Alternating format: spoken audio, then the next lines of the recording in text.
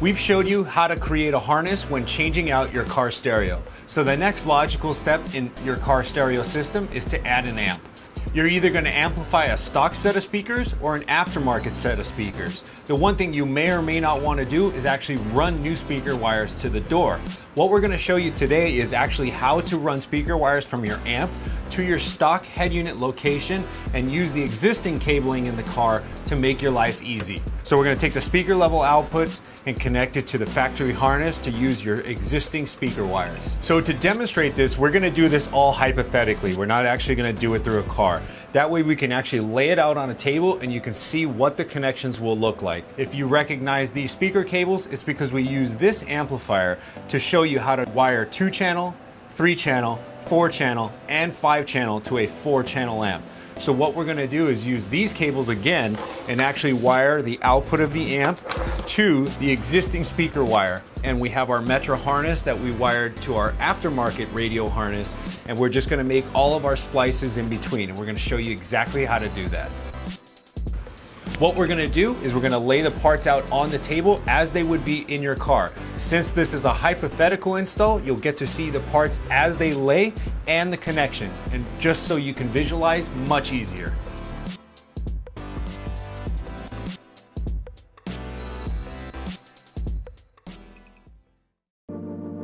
Just like the hypothetical amplifier installation, we're gonna show you a two channel setup and a four channel setup. With a two channel setup, we're gonna use the amp to power the fronts and the aftermarket radio to power the rears. Then we're gonna take you through having a four channel amp power all the speakers and no longer using the aftermarket radio's internal amp. First thing we're gonna do is solder up two of our speaker leads from the amplifier to our front speakers.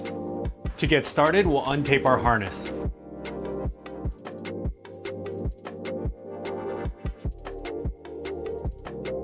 And we're doing a nice job unwrapping the tape. That way we may be able to actually save the tape.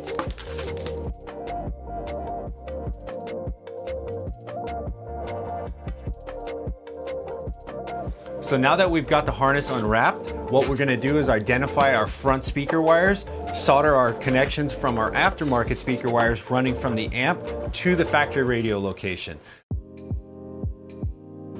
As we showed you on how to wire an aftermarket stereo to a Metra wiring harness, the front speakers are identified with the white pair and the gray pair.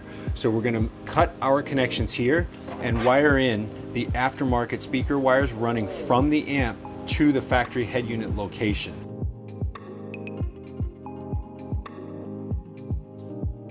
And as we like to do is make sure everything is equal length. Go ahead and cut those off and then we'll start soldering up our new connections. One thing you want to do before soldering is to label your wires. What we do is we use a P-Touch, print nice labels, and then use heat shrink tubing over the label to make a really, really nice wire label. This way, once you have all the wires run in the car, it's easy to identify at the amplifier what's the left front, what's the right front, what's the right rear, and left rear.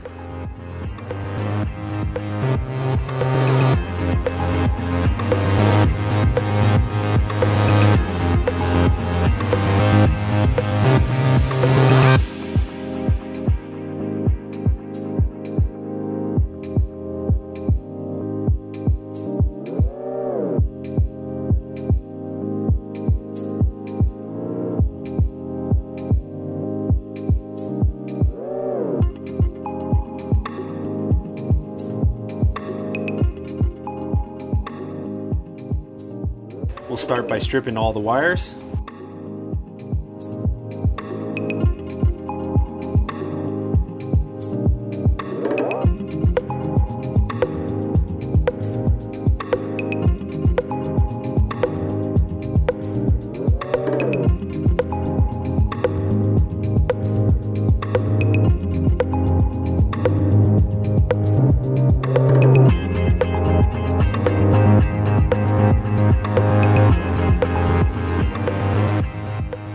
Be soldering these connections, so we'll cut our heat shrink tubing.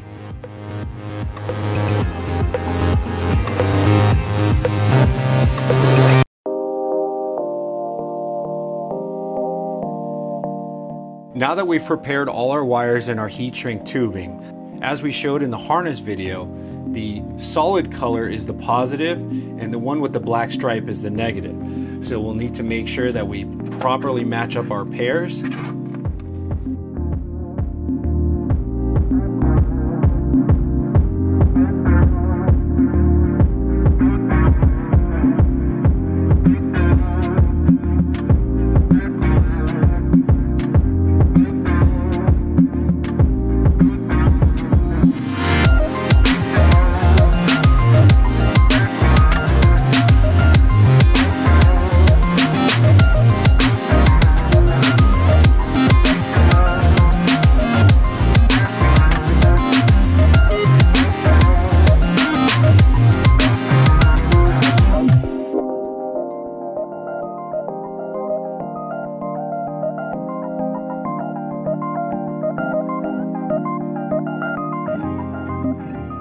The last thing we need to do now that we've made our speaker connections is run our remote turn on lead. So we're going to solder that too and then put a uh, spade connector on it so that we can make a nice connection at the end. The one thing you'll need to check is do you need remote turn on for either the existing speakers in the factory amp, antenna amplifier, or possibly a power antenna. If you do, you'll need to make a T connection. But in our case, this vehicle does not have a factory amp and we no longer need the connection. So we'll make the exact same type of connection we did for the speaker cables.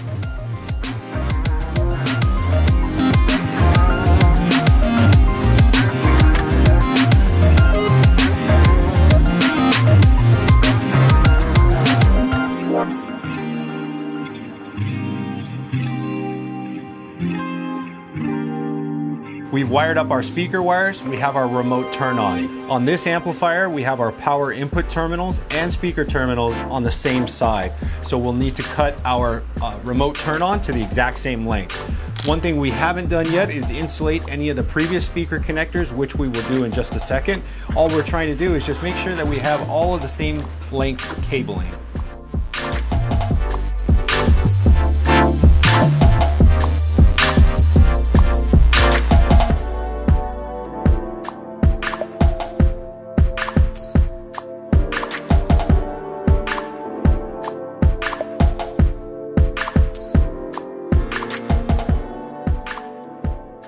So one way to insulate the previous speaker wires is to cut them at different lengths. So you could cut one this length, you can cut another one just a tad shorter, cut one in the middle of those two, and then cut one even longer. This way, if we actually just tape them up, they wouldn't touch anything. But we don't like to do things like that. Some people do. We'll cut them equal length and we'll just put some heat shrink over them so they can't.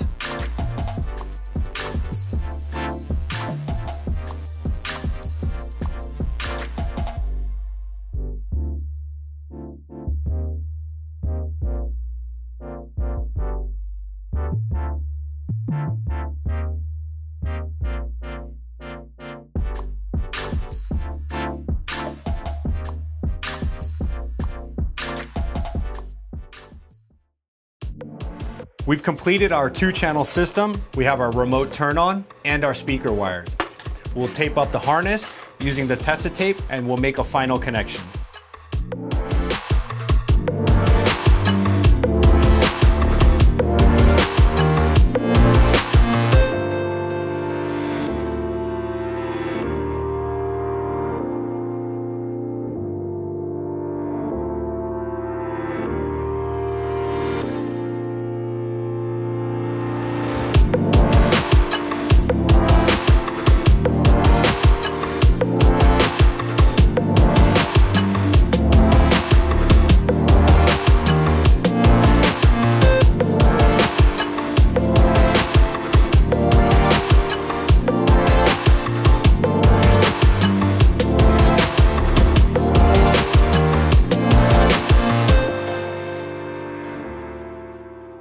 We've taped up our harness and as you can see we have a T.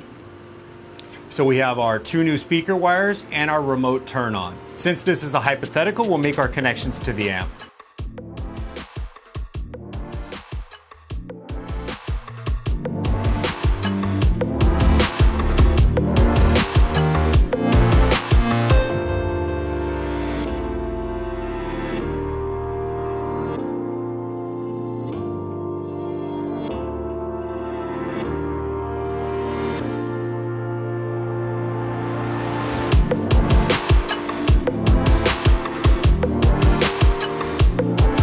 Better visualize, we'll grab a radio.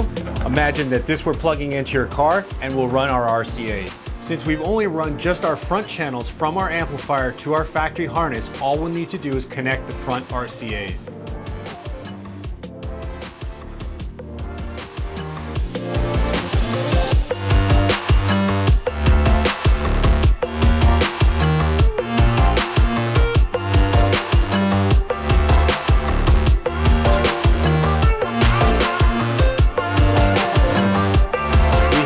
Plug-and-play harness that goes directly to the factory speaker wire. We have our RCAs to the amp, and we have our remote turn on from the aftermarket radio. Our hypothetical system is complete, a two-channel system powering the fronts. Next we'll wire up a 4-channel, powering our front and rears from the factory speaker wires with our 4-channel amp. We'll sever the connections between the aftermarket radio and the stock speaker connector and then run two more leads coming off the amp to the rear speakers. You have the option of using a second set of RCAs from the rear RCA output to the rear RCA input. You can also just use a single set of RCAs using the internal switch to run in two channel mode. Internally, the amplifier will distribute the audio signal to all four channels.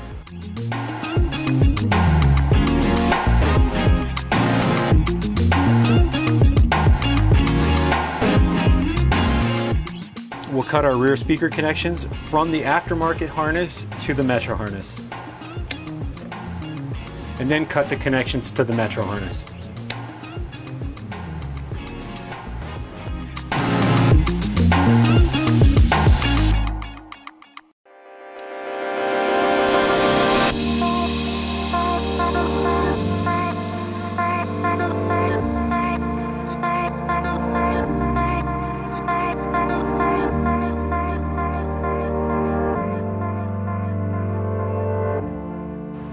Make sure to use the right cable when making our connections.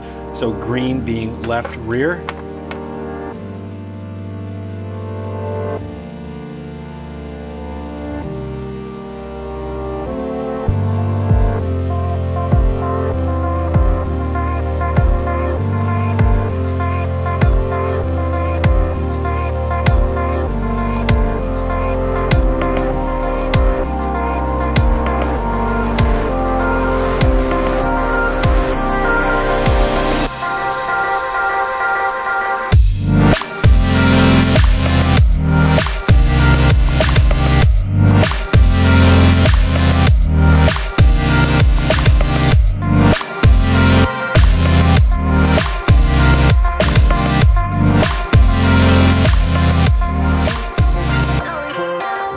We finished soldering all our connections.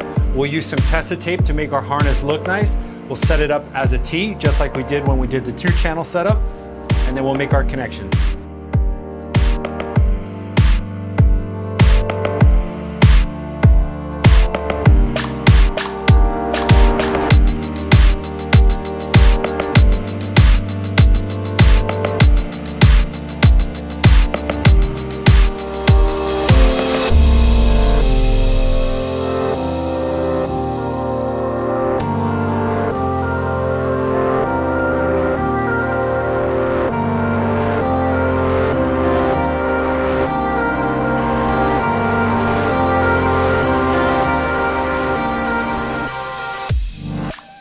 Begin making our four channel connections, starting with the rear channels first because they're located on the bottom.